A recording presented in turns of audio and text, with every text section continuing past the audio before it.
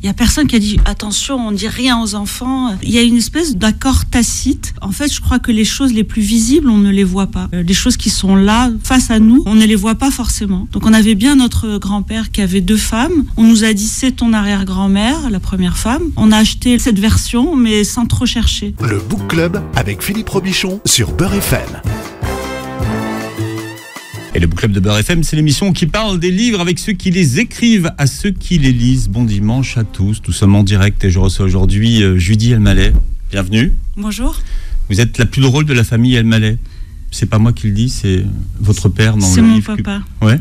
Il me l'a dit quand j'étais petite. Et vous racontez comment il dépose ça un jour, il dit Tu sais, tu es la plus drôle de la famille. Oui, il me l'a dit comme un, un secret, ne le dit à personne, parce que dans, ma- dans notre famille, euh, la plus grande qualité, je crois, que c'était d'être drôle. Ouais. Euh, et puis il me l'a dit comme, euh, comme on dit à une petite fille en général, tu es la plus belle, tu es la plus jolie, tu es une princesse. Et moi, il m'a dit, tu es la plus drôle. Hmm. Et comment vous avez grandi avec cette injonction à être la plus drôle de la famille? C'était pas une injonction, c'était un secret, une révélation. Ouais. Et euh, j'ai grandi avec euh, l'obligation de maintenir euh, une certaine ambiance, quoi. de veiller à ce qu'il y ait de l'ambiance tout le temps. Il y avait, il y avait une pression? Non, non, c'est c'est dans, c'est on va dire, c'est c'est une habitude. Donc c'était assez simple, quoi. Alors vous êtes euh, metteuse en scène, scénariste, réalisatrice, co-autrice de spectacles, et vous êtes là pour nous parler d'un livre qui s'appelle Une reine aux éditions Robert Laffont. C'est un roman. À, à quelle distance vous vous euh, situez, vous, du roman? À la distance euh, qui m'a permis de de créer des situations qui n'ont pas existé, mais pour parler de choses vraies. Par exemple, euh, euh, dans le roman, je raconte que je vais voir ma grand-mère pour raconter son histoire. À Casa. à Casablanca. Euh, je n'ai pas fait cette démarche-là, j'aurais bien aimé la faire. D'accord. Euh, elle m'a raconté par bribes son histoire, j'ai écouté son histoire par les membres de la famille, mais je n'ai pas fait ce voyage dont je parle dans le roman. Je, je l'ai fantasmé et j'aurais voulu le faire. Mais c'était plus facile pour vous de dire des choses en se, alors je dis pas cachant, mais en se protégeant par un, par un roman. Oui, et en aussi euh, préservant les, les personnes dont je parle. Euh, J'avais besoin d'utiliser un petit peu euh, d'autres noms, d'autres situations pour être plus à l'aise pour en parler. Ouais. C'est plus confortable. C'est plus confortable. Ouais, ça met moins les gens en, en première ligne finalement. Exactement, exactement. Et Ah. chacun se, se reconnaît là, où- là où il veut, là où il peut. Dans votre famille, vous voulez dire Dans ma famille et même, même moi, je peux toujours me dire ah ça c'est moi, là ça c'est moi, moi. D'accord. Les prénoms que vous utilisez dans votre, dans votre livre sont les vrais prénoms ou c'est euh, Non, l'oncle Roger C'est l'oncle Roger il, euh, s'appelle pas Roger. Il s'appelle pas Roger. D'accord. C'est un, un mix. C'est un livre de- à clé alors. C'est un mix de deux oncles à moi. c'est mais euh, une jeune femme m'a fait remarquer une chose. Elle m'a dit mais tu as utilisé le prénom Anna et C'est Anna l'héroïne, donc c'est. et c'est- Anna en arabe ça veut dire euh, moi. Et je- j'avais Ah pas du tout fait Ah ouais. attention à ça. Ah ouais. Et euh, effectivement, euh, il y a, peut-être un, un acte inconscient là-dedans. Euh, vous écrivez dans le roman que vous n'avez jamais, être- jamais aimé être regardé. Et là, depuis quelques jours, c'est vous qui êtes sur, sur les devants de la scène pour raconter votre, votre histoire. Qu'est-ce que ça, ça change pour vous qui, a- qui avez toujours été d'une certaine façon dans l'ombre d'être dans la lumière? Alors déjà, c'est un exercice et euh, c'est un exercice euh, qui, est, qui est tout nouveau pour moi. Et mais dans cette lumière, j'amène avec moi ma grand-mère.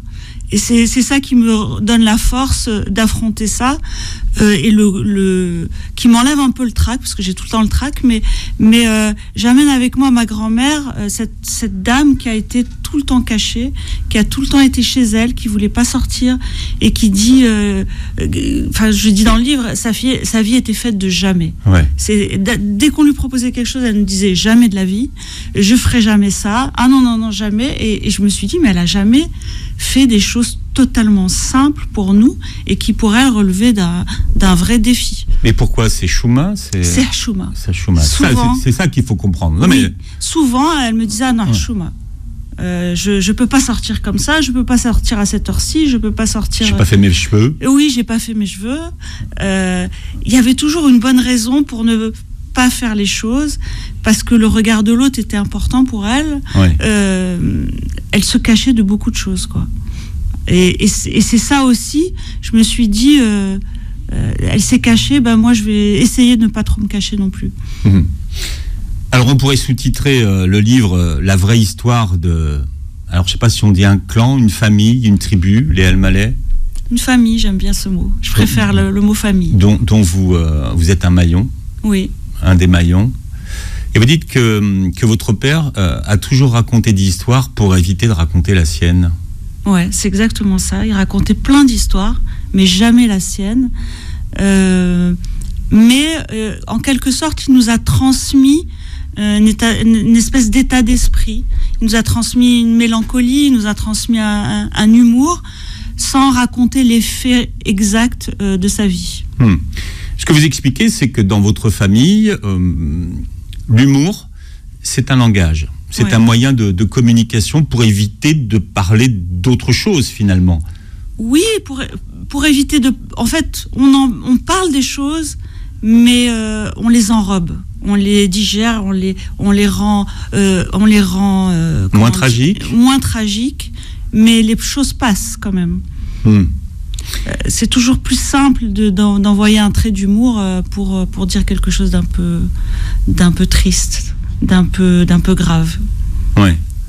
Et ça, c'est un entraînement finalement. Ben, c'est un entraînement inconscient puisqu'on l'a vécu euh, toute notre vie et puis euh, euh, c'est devenu un langage. Et, et moi, je me souviens qu'adolescente, euh, je- j'en souffrais de ce langage. J'avais envie de parler de choses sérieuses. Ah, vous en aviez conscience donc oui, ben, j'avais conscience que c'était un peu lourd, quoi. J'avais envie de parler de choses sérieuses. Je lisais des romans. Je voulais, je voulais qu'on se parle de. je voulais parler euh, de, de vrais trucs, quoi. Mais non, tout le monde plaisantait. Mhm. Et puis c'était toujours ah, ça va, arrête, euh, Madame, euh, Madame lit des livres, Madame fait. Et, et en fait, euh, j'avais pas compris que c'était aussi pour cacher, cacher, pas cacher, mais enrober une espèce de, de tristesse, quoi. Mhm. Mais est-ce qu'on peut cacher quelque chose qui au fond ne l'est pas? Parce que, et vous l'expliquez très bien euh, dans votre livre, c'est que ce secret familial, à aucun moment on a demandé à des gens de le taire, de ne pas en parler. Donc c'était à la fois un secret, mais qui n'en était pas. On a organisé familialement le secret. Et tacitement surtout. Il y a personne qui a dit attention, on dit rien aux enfants. Euh, il y a une espèce de de- d'accord tacite. Et euh, en fait, je crois que les choses les plus visibles, on ne les voit pas. Euh, les choses qui sont là, euh, face à nous, on, on ne les voit pas forcément. Donc on avait bien notre grand-père qui, avait deux femmes. On nous a dit c'est ton arrière-grand-mère, la première femme. On a, on a acheté le, la, cette version, mais sans trop chercher. Euh, sans trop chercher à comprendre. oui, voilà. Et si on avait cherché, on aurait su, mais ça, ça nous a pas, ça, ça nous a pas interpellé sur le moment. C'est à quel moment que ça vous interpelle alors? En fait, c'est un, un- de mes oncles qui, nous, qui a pris le, le parti d'écrire euh, euh, pour un document familial cette histoire, euh, noir sur blanc, que ma grand-mère s'était mariée à 14 ans, que mon grand-père était déjà marié, Enfin, qu'elle s'était mariée à 14 ans. Voilà. Qu'on- Qu'on l'avait mariée à 14 qu'on ans. l'avait marié absolument à 14 ans. Donc, euh, en voyant ça écrit noir sur blanc, on- enfin moi j'avais accusé le coup, mais c'était il y a longtemps. J'ai mis beaucoup de temps à ressortir cette histoire. Ouais. Alors, votre grand-mère, euh, c'est son vrai prénom qu'il y a dans le livre Oui. ou un... Oui. C'est Simcha, son vrai prénom, et on l'a tous appelé Mimi. Et vous dites que enfants et petits-enfants l'ont toujours appelé Mimi. hein. Oui. Même ses enfants l'appelaient pas maman. C'est vrai, parce que c'est une, une femme qui a été mariée, comme vous dites, à 14 ans, parce que mon grand-père ne, ne pouvait pas avoir d'enfant avec sa première femme. Et donc, euh, quand elle a commencé à avoir des enfants, elle a donné ses bébés, ses enfants, à éduquer à la- par la première femme. Et donc, euh, aucune des deux n'était vraiment la mère, si vous voulez. euh, et, et Mimi, est- Mimi a été appelée comme ça par ses enfants parce qu'ils avaient finalement deux mères. Ils étaient dans l'entre-deux, en fait. Ouais, ouais. Surtout mon père, parce que les trois premiers en- enfants ont été élevés par la première femme. Et à mon, père, ma grand-mère s'est rebellée. Elle a dit ah non, ça suffit, euh, je veux garder mes enfants. Donc mon père a vécu entre les deux mamans et les trois derniers ont vécu avec ma, grand-mère. Il faut expliquer alors que, que dans la fratrie, votre père, c'est pile poil celui du milieu. C'est le, celui du milieu. C'est le quatrième. C'est l'enfant de la transition, c'est Ouais. l'enfant qui a fait, qui a fait. euh, euh, moi, j'aime, me dire que c'est parce qu'il était tellement euh, aim- aim- aimable, et elle l'a tellement aimé qu'elle n'a pas voulu se le- lui donner ce- celui-ci. Aussi, euh, ma grand-mère commençait à avoir, euh, à prendre en maturité, en Oui. assurance. C'était plus la même que quand elle avait la 14 même. ans ou 15 ans. Ouais. Voilà, et, et donc elle a, elle, elle a commencé à dire non, que ça, ça se passerait pas comme on avait décidé pour elle. Ouais, pas comme dans le, pas comme dans le plan. Voilà. Est-ce qu'en écrivant votre roman, vous avez euh, réussi à répondre à une question sur ce que c'est qu'une famille? Finalement, c'est quoi une famille? Une famille, ce sont des gens qui s'aiment quoi qu'il arrive. Et il arrive beaucoup de choses dans une famille. Euh, une famille, euh, c'est... euh, hum, c'est... euh, oui, c'est ça. C'est euh, le postulat, c'est on, on est ensemble quoi qu'il arrive et, Mm. et la famille c'est pas seulement une famille. On peut décider ça avec des gens qui ne sont pas de notre propre famille de sang. C'est-à-dire qu'il y a un postulat de départ qui est on est ensemble, on se quitte pas. euh, Mm. Quoi que tu fasses, quoi que tu penses, euh, on- je suis avec toi. Et pour moi c'est ça une famille. C'est ce que je ressens en tout cas par rapport à la mienne et, et- et- et par ce qu'il me, me renvoie. Alors on a du mal euh, à imaginer la, la violence qu'a pu être la, la vie de votre grand-mère, Simora, parce que, bon, déjà, elle ne sait pas qu'elle va être mariée. C'est-à-dire qu'un jour, elle se retrouve au hammam, Oui. l'objet de, de plein d'attention, elle se retrouve habillée, puis elle veut rentrer chez elle et on lui explique qu'elle ne va pas rentrer. Ouais. Et que c'est que la maison où elle a, elle a été pour une fête où elle était très jolie et elle attirait toutes les attentions, elle allait être euh, sa maison. Elle allait y vivre euh, pour le reste de sa vie. Hum. Alors dans le livre, euh, Anna retrouve une photo. Une photo, c'est celle du photo du jour de la photo de- du jour du mariage. C'est une vraie photo, ça? Non. Non. Non, parce qu'on n'a pas de photo de ce mariage. On n'en a pas. Euh, C'était il y a si longtemps. Faut expliquer. Faut expliquer. euh, C'était le, le- le Casablanca de quelle époque? Euh, de 1930. 1930. Ils se sont mariés en 1930. Donc euh, c'est Mohamed V qui est encore euh, le roi, hein, le roi de- du Maroc. Euh, alors vous, vous expliquez que alors votre grand-père, euh, enfin le, le- le- le grand-père, hein, il a quand même une vie romanesque parce que totalement. euh, totalement. il vient de, de la campagne. hein, Bah, de, la, de la montagne, c'est un berbère euh, Ouais. euh, il- qui, qui vivait, qui vivait dans, vraiment dans la montagne, marchait pieds nus. et il a perdu ses parents très jeunes. Euh, et à la mort de ses parents, même si c'était le petit dernier, il a pris en charge ses sœurs et trois sœurs et il a marché jusqu'à Casablanca pour aller euh, euh, trouver des, mo- des moyens de, de subsister parce qu'ils étaient totalement dans la misère. Quoi. Hmm.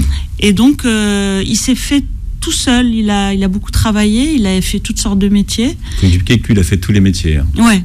Il a été voyant, il a été clown dans les marchés, il a été euh, marieur, il a tout fait. Et il avait quelque chose d'assez euh, séduisant. Il était, dans, il était très euh, sociable, euh, très, il avait beaucoup d'entre-gens en fait. Ouais. Jusqu'à la fin de sa vie d'ailleurs. Et il rencontre donc une, une femme. Mhm.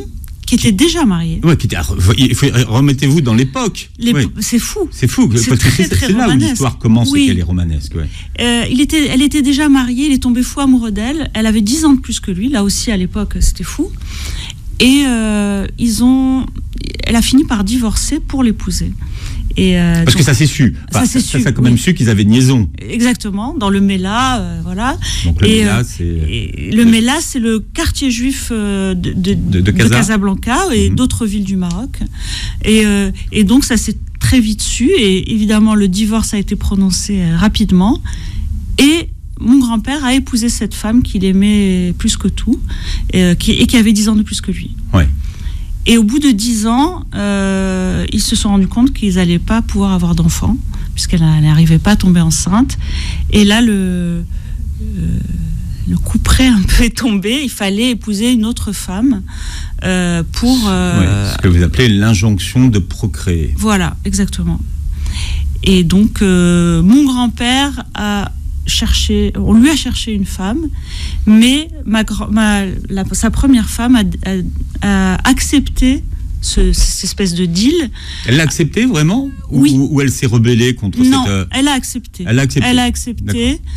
mais elle a, à, la condition qu'elle choisisse la, la, deuxième épouse.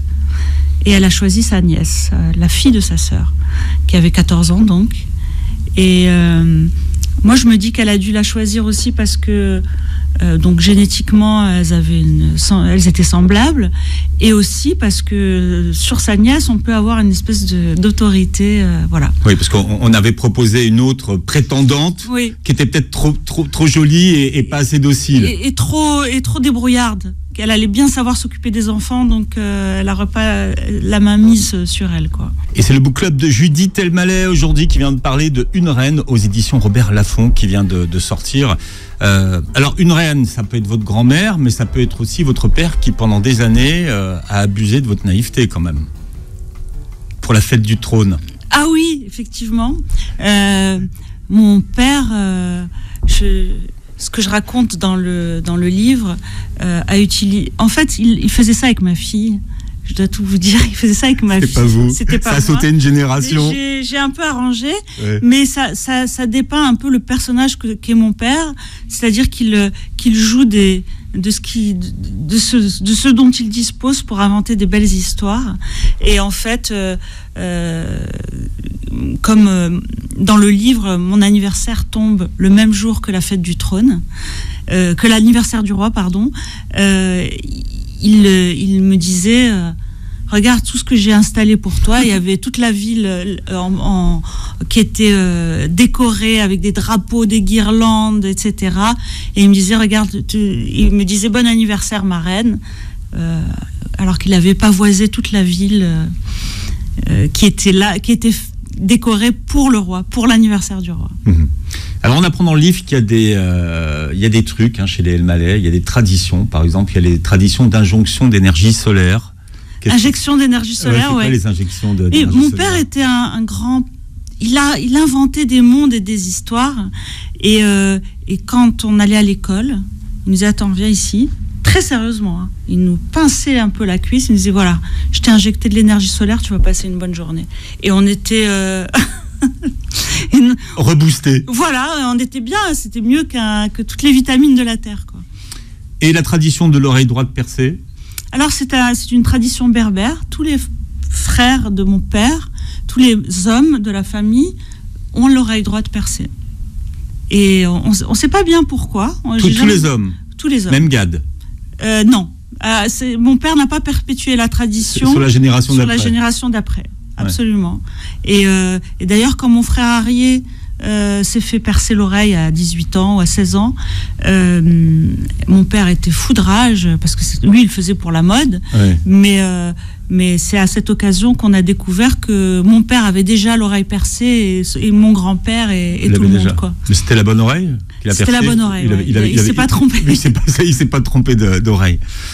Vous racontez que votre grand-père a donc été marié deux fois. Religieusement, je ne savais pas que c'était possible. À l'époque, ça l'était. Alors ça, ça j'ai un prix. Euh, c'était ça l'était. Il y a eu quelques quelques familles dont c'était le cas. Euh, c'était quoi des dérogations? C'était je, je, je, ne sais pas exactement, mais en tout cas au Maroc à cette époque, c'était possible avec l'aval des rabbins. Euh, mais il fallait prouver que pendant dix ans, on n'avait pas réussi à avoir d'enfants. Et donc, vous, vous étiez marié en même temps avec deux épouses Exactement. Ce qui, ce qui, est, ce qui était mon grand-père. Il avait ses deux épouses en même temps. Il avait deux maisons. Enfin, chaque femme avait une maison et il naviguait de l'une à l'autre. Hmm. Ça se passait comment entre les deux femmes? Est-ce que ça, vous savez? J'ai un peu de d'écho, de, j'ai un peu sondé euh, euh, mes oncles, mes tantes, euh, et chacun est né à une époque différente. Donc chacun a vécu les choses différemment. Euh, c'était pas, c'était assez tendu. Mon grand-père était assez tiraillé entre les deux femmes parce que, Hmm. vous le savez, on a des dîners de Shabbat, des déjeuners de Shabbat, et je crois qu'à une certaine époque de sa vie, il est obligé d'aller dîner chez l'une, puis aller dîner chez l'autre. Il faisait une espèce de circuit pour que tout le monde soit content. Oui. Mais, mais, mais le statut de votre grand-mère, est-ce que c'était la, je mettrais des guillemets, la mère porteuse, d'une certaine façon Et est-ce que, alors la femme qui s'appelle Asiba, hein, sa, sa première épouse, c'était celle qui l'aimait? Est-ce que les choses étaient si claires que ça Ou alors il, si- les, il les aimait toutes les deux? Ce n'est pas si clair que ça. Je pense que euh, au bout de, au bout de d'un certain nombre d'années, il avait fait des enfants avec ma grand-mère, et puis, et puis la vie, et puis il s'est attaché à ma grand-mère, et, et ma grand-mère, euh, à une époque de sa vie, demandait de l'attention aussi. À un moment, elle s'est dit, euh, moi aussi, euh, je veux de l'attention, moi aussi, je veux, je veux avoir une vie de femme mariée. Et puis, je pense aussi que, que mon grand-père avait beaucoup d'affection pour, pour elle, même s'il a eu une fidélité de, de sentiment toute sa vie envers la première. Mhm. Il a continué à l'aimer en fait. Totalement. Et, et- et- et elle, et elle est décédée bien avant en fait. Bien Euh, avant. ouais. euh, enfin, elle est décédée, non, après lui. Après lui. Oui. Donc est ça, fait, ça va être, ça- ce qui veut dire que votre grand-mère et votre grand-père sont restés jamais tous les, tous les deux ensemble en non, fait. jamais. Que tous les deux. Elle n'a jamais eu pour elle toute seule. Et à, et à sa mort, elle, est, euh, elle a refait sa vie, votre grand-mère? Non, non, jamais. Non. Elle, ni elle n'a refait sa vie, ni elle a. Elle s'est dit bon, euh, je vais aller voyager, je vais faire des choses. Elle est restée chez elle. Dans, dans le livre, vous expliquez que finalement, même si vous n'étiez pas au courant euh, du, du- du- du secret, vous avez toujours senti qu'il y avait quelque chose. Oui, vraiment. J'ai toujours senti quelque chose euh, qui était masqué, quelque chose que de qui, qui planait. Euh, je je l'ai senti, et alors à plus forte raison quand on découvre par la suite, on, on- on se, on retrouve un petit peu ces, ces sensations-là.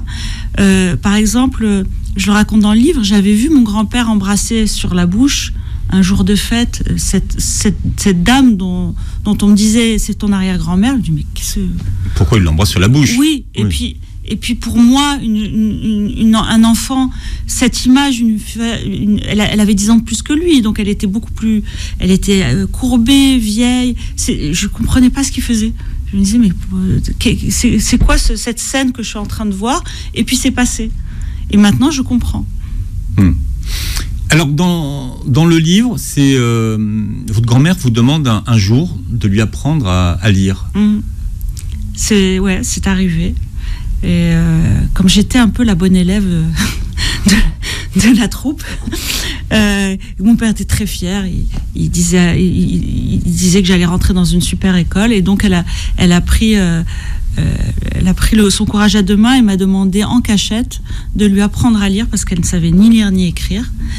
Et évidemment, ce que j'ai commencé à faire, mais mais j'ai fait une erreur, c'est que au fur et ouais. à mesure qu'elle faisait des progrès, euh, j'étais tellement contente que j'en ai parlé à toute la famille et j'avais trahi notre secret. Et à partir de là, elle a décidé que qu'elle allait arrêter. euh, sans rien me dire évidemment, mais la fois d'après, quand je suis venue pour le- lui donner mon, mon cours entre guillemets, ben elle n'a pas répondu et La porte était close. la porte était close. Ouais. Et elle n'a pas voulu continuer par la, Non. par la suite à. Non, par fi- Parce que voilà, parce que j'avais ré- révélé dire par, secret. par oui, par, fierté. oui, par par fierté certainement. Ouais. Que- quels étaient vos rapports avec, euh, avec cette grand-mère? C'était un rapport, euh, euh, je, vais vous surprendre, presque intellectuel, pas affectif, parce que elle me transmettait des messages forts à chaque fois. Euh, elle me m'embrassait tout ça, mais très rapidement. Mais on dirait qu'elle avait besoin de me transmettre des vrais messages. Euh, C'était une dame qui ne savait ni lire ni écrire, mais elle savait penser, elle savait réfléchir, et elle, avait pensé pour moi des choses fortes, et elle voulait certainement pas que je me retrouve dans, dans une situation semblable à la sienne, Hmm. de subir quelque chose. Alors c'est là où l'histoire de celle qui, qui raconte la narratrice dans votre livre rejoint la sienne, puisqu'elle est à son deuxième divorce. Et, et- et- la grand-mère avait toujours cette phrase et dit si tu n'es pas heureuse, pars. Oui. Elle m'a donné une espèce de, de, de mot de passe pour. En fait, euh, euh, elle avait deux choix, cette, cette femme-là. Elle aurait, elle aurait pu me dire attention, c'est honteux, tu restes avec ton mari, euh, ce qu'elle a fait. Et, mais, mais elle m'a donné cette- ce, ce pouvoir-là. Elle m'a donné euh, Hmm. cette espèce de baguette magique, non pas pour s'en servir euh, euh, gratuitement, mais c'est pour me donner cette liberté, pour me m'alléger de toute culpabilité si un jour j'étais pas heureuse. Euh, je pouvais partir, je pouvais, je pourrais refaire ma vie, et donc je, la, je la remercie. Ouais. Mais est-ce qu'elle, finalement, elle a été à un moment donné tentée par, euh, par le fait Oui. de, de partir, de divorcer, de partir avec ses gosses non seulement tentée, mais elle, elle a essayé. Euh, Ah oui. Elle a essayé, et je me souviens, c'était déchirant. C'est que elle me dit quand je je, je, je me disputais avec ton grand-père, j'allais retrouver mes parents dans le Mela, mais ça durait pas longtemps parce que ses parents lui disaient on n'a on pas de quoi te nourrir, il faut que tu re- rentres chez ton mari. Hmm. Donc elle était obligée de, de, de retourner chez son mari. Hmm. C'est ça qui est, c'est- déchirant. Elle pouvait pas, il n'y avait pas d'autre choix. Et il faut Ouais. aussi, pour bien comprendre l'époque, c'est que, que ses parents, elle, n'avaient pas d'autre choix euh, économiquement que de, la, que de la marier. d'une part, et d'autre part, pour eux, c'était vraiment une, une- une chance à saisir, euh, pour eux et pour, et pour leur fille.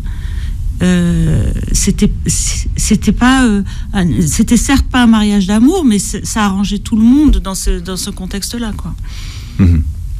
Et, et- et- et- et on voit avec, euh, avec euh, vraiment tout ce qui se passe à, à- à l'époque, hein, toute, euh, toute, cette, toute cette tristesse, et, finalement, elle ne sait pas qu'on va la marier, mais vous, dans, vos- dans le livre, euh, si- enfin, si, si, si je vous ai bien lu, elle sait même pas qu'elle est enceinte. Ben, elle c'est pas qu'elle sait pas qu'elle est enceinte c'est qu'elle elle, elle, elle sait pas elle sait pas encore qu'elle est enceinte.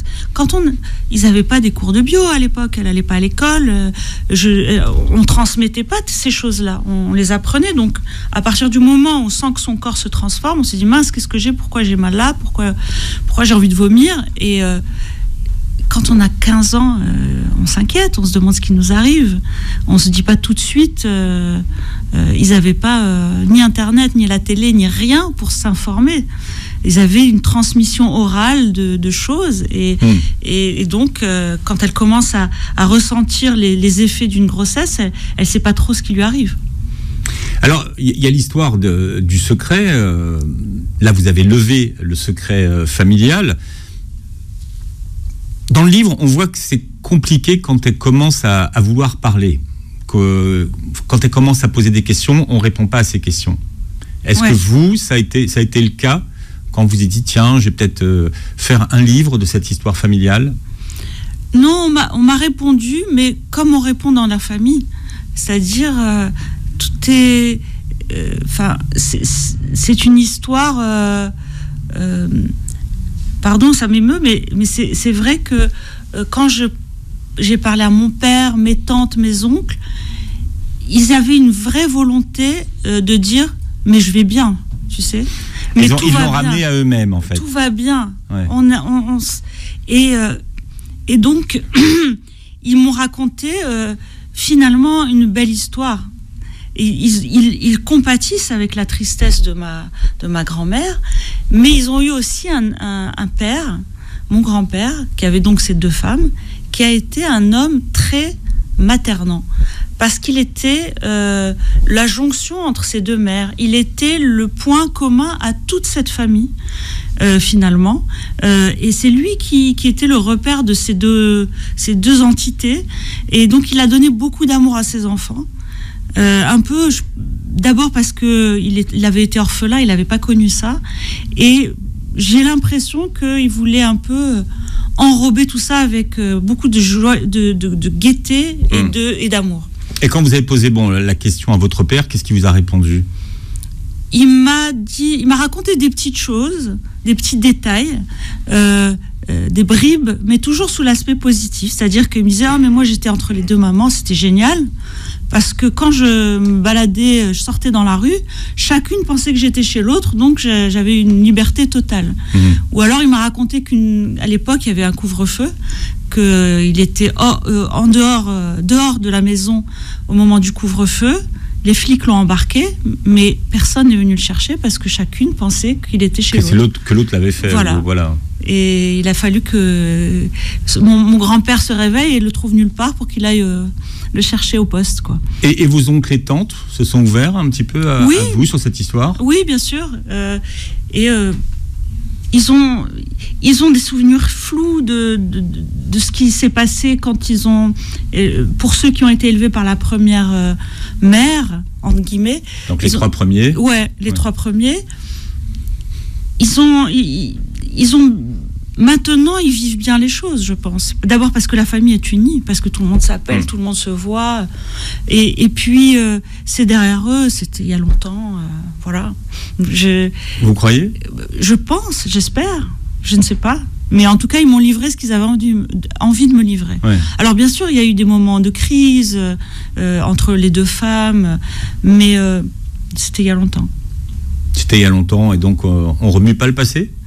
Bah là, je l'ai remué pas Non mal. mais, mais est-ce que quelqu'un vous a dit mais tu sais euh, on remue pas le passé Ah non, on m'a jamais dit ça. À Non, aucun moment non, vous non, avez eu cette euh, Au contraire, euh, mes, mes oncles. euh, euh, encore hier, j'ai reçu un texto d'un de mes oncles qui me redisait Oh là là, tu as tellement bien fait de faire ça. Et, et, même si eux sont en retrait, même si eux m'ont pas parlé, ils sont contents que ça existe. ils sont contents que vous ayez remué un petit peu la boîte de, de Pandore. Oui, euh, en fait, remuer, je ne sais pas, mais en tout cas, j'ai tiré un fil, quoi. J'ai détricoté un peu. Et c'est Judith Elmaleh qui est avec nous aujourd'hui pour nous parler de son roman qui s'appelle Une reine aux éditions euh, Robert Laffont. Quand je lisais votre livre, je pensais à, à Lady Di. Et c'est marrant parce qu'à un moment donné, vous le dites, mais je dis, mais c'est tellement l'histoire de, de, de Lady Di.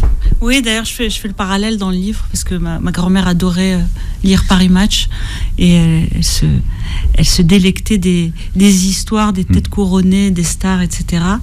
Et euh, effectivement, il y a, il y a une similitude dans les destins de un peu sacrifiés et dans où les trois personnages ont dû payer un peu de, de leur vie, de leur, de, de leur bonheur pour euh, finalement arriver à ce qu'une lignée soit créée. Et donc, comme le prince Charles, mon grand-père euh, était très amoureux d'une dame euh, et, qui était plus âgée, euh, qui était moins, euh, moins com- comment dire, moins, sexy. Moins sexy pour être la reine, euh, Voilà. qu'on l'aurait castée à. Buckingham Palace à l'époque. ouais. Exactement. Mais il, il a gardé un amour indéfectible pour cette femme. Et il avait beau avoir entre dans, euh, avoir euh, une femme jolie, euh, euh, regardée, jeune, belle, fraîche, c'est la première qu'il a choisie dans son cœur. Il y a une certaine fidélité, il y a une certaine euh, loyauté qui est assez séduisante. Et mon grand-père était comme ça. Euh, il, aimait cette femme, euh, cette première femme, qui avait 10 ans de plus que lui. Et je pense que ma grand-mère, ça fait partie de sa souffrance, c'est qu'elle n'a jamais été la favorite. Souvent, la, la deuxième épouse, elle est plus jeune. Et, et- Ça paraît fou aujourd'hui parce qu'on imagine l'inverse, mais euh, oui, oui. Et, euh, et en fait, euh, mon grand-père euh, souffrait, entre guillemets, de ce, de ce tiraillement entre ces deux femmes-là. vous, vous parlez de cette injonction à procréer, euh, dont vous écrivez qu'elle a conditionné finalement l'histoire de votre famille. Oui, c'est vrai. Euh, en tout cas, la mienne, euh, j'avais l'impression qu'il fallait que j'ai un enfant très rapidement, euh, qu'il fallait que je règle cette, cette dette vis-à-vis de ma famille, je, je crée ma lignée moi aussi. Et puis, c'est aussi la raison pour laquelle j'ai écrit ce livre, c'est pour penser à ce qui, les gens qui vont suivre. Parce que nous, on a, on a compris certaines choses, mais on le sait, hein, c'est plus on- plus il y a de, de transmission, plus il y a de per- perdition Mm. dans, dans les informations. Donc j'avais besoin de mettre un peu au clair cette histoire pour pouvoir la transmettre à mes enfants et à leurs enfants. Euh, c'est important pour moi Mm. Euh, parce que j'ai l'impression que cette histoire est tellement forte qu'on a un peu oublié de se tourner vers les vers ceux qui vont faire euh, notre descendance, euh, vers, vers, vers ce qu'ils vont devenir, vers le, le bagage qu'ils vont prendre avec Mm. eux entre leurs mains. Et ça, c'était important pour moi. Il faut leur transmettre quelque chose. Enfin, en fait, je voulais leur transmettre les choses comme je les ressentais, comme je les pensais. Mm. Je, voulais, je voulais avoir le temps de faire ça. Vous vouliez pas leur transmettre un secret qui n'avait pas été euh, élucidé finalement. Oui, oui. euh, moi, on m'a donné un- une espèce de valise fermée. On m'a dit allez, débrouille-toi avec ça. Euh, et je veux pas la, la transmettre telle quelle à mes enfants. Je veux l'ouvrir, je veux ranger, je veux voir ce qu'il y a dedans et, et leur expliquer d'où ça vient et qu'est-ce que c'est quoi. Ouais. Et vous savez vous quel est l'impact que cette histoire a eu sur votre sur votre vie finalement? Oui, euh, je pense. Est-ce que vous êtes interrogé à un moment donné en disant ben voilà en fait euh, je reproduis peut-être un schéma ou pas ou je veux pas rentrer dans les cases qu'on m'a qu'on m'a Oui, attribuées certainement. euh, Je pense que, que euh, ma vie sentimentale a été imprégnée de celle de, de, de- de celle de ma grand-mère, de cette injonction où si tu n'es pas heureuse, tu t'en vas. Euh, j'avais à j'avais à cœur de de respecter euh, cette euh, cette injonction, je pense inconsciemment, euh, de me dire euh, euh, surtout euh, faire attention à bien être heureuse, à ne pas être malheureuse, à ne pas subir des choses. Euh, maintenant, je crois que je suis en paix avec ça. Hmm. Après c'est l'image qu'on peut donner d'être heureuse. Non, mais être heureuse, c'est voilà, un bien vaste mot, mais c'est être en accord avec ce qui nous arrive surtout.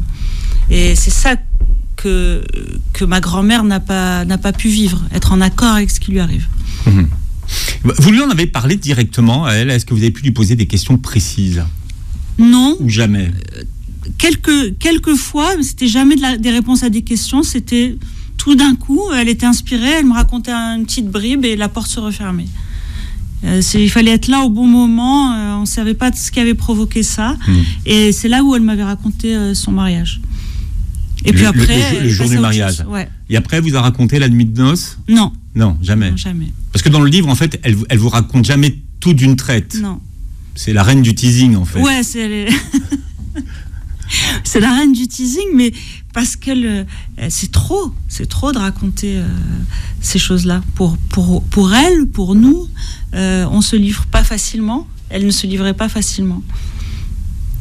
Vous allez avoir plein de témoignages hein, de, de- de- personnes qui, comme vous, ont, ont- ont connu la même situation. Vous allez voir. hein, vous allez recevoir Oui, mais j'en ai déjà reçu, Ça, ça- euh, oui. ça va libérer les- les- la parole. Exactement, et, et- et je, je suis contente de ça parce que il y a beaucoup de gens qui m'ont écrit en me disant ma grand-mère c'était le cas, mon oncle, enfin je connais une famille et c'est c'est bien parce que ça resitue aussi dans le contexte. Euh, on- n'était pas dans le l'amour, être amoureux, on était dans la nécessité.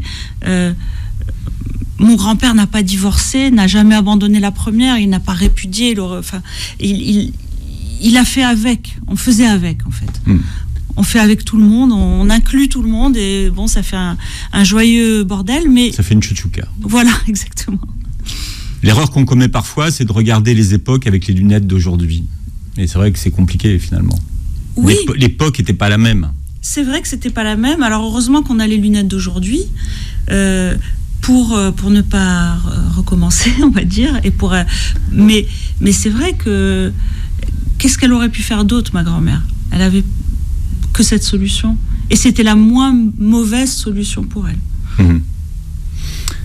Alors, quels sont vos dix trucs pour se libérer du syndrome de l'imposteur? Si vous les avez, c'est bien. J'en ai aucun. Ouais.